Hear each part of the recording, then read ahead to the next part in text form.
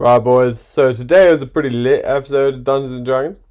Um, we were hanging out in this like Port Nyan cat or some shit, and we went to go fight in an arena. And we absolutely bitch slapped some Velociraptors, but then like some of the boys took a little bit too much damage and were like crying a little bit too much about it. So we had to like slither on off. We only got like fifty gold.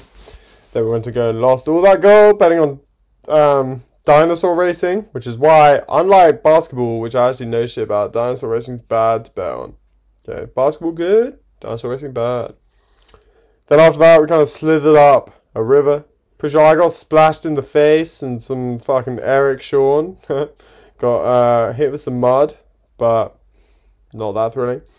But you know, sure, some danger, but like I I don't understand it. I think we heard like a bat or something. So clearly some meta that I don't understand, which is going to fuck us later. But, uh, you know, right now, yeah, it's whatever. And then we fought a couple of lizards.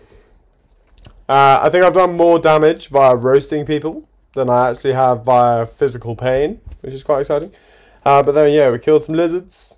Um, got like 56 experience. Need like 300 to get to the next level, so it's still quite a way off. But we're chilling, we're going upstream. I'm using my illusions to make some TV screens. I'm thinking maybe I'll use it to make a chess set and I could play chess with someone because I'm proficient in chess. But yeah, strong episode of Dungeons and Dragons. Um, oh yeah, and I had like an interview today. It was like, you know, it was pretty good. I think it went okay. I, I mean, I'm just a bit confused and perplexed by what's going on with this whole interview thing. Like, I, you know, I feel a little bit messed around about it. Like, you know, they keep delaying when they're going to tell me something. Like, it seems like, you know, I'd rather just know. If it ain't gonna be good, like I'd rather just know. But they, uh, you know, I'm like whatever. Like, but this job seems pretty solid. They said it could be up to like 45k a year or whatever, which obviously is pretty dope. So I'm doing my due diligence, um, and you know, investigating it. We'll see what they say. Maybe they want me, maybe they don't. But fingers crossed they do.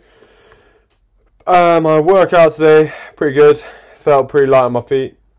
Uh, hoping that Friday I'll see some serious success in basketball, but don't you worry, the moment I do have success, it'll be on here so you boys can see.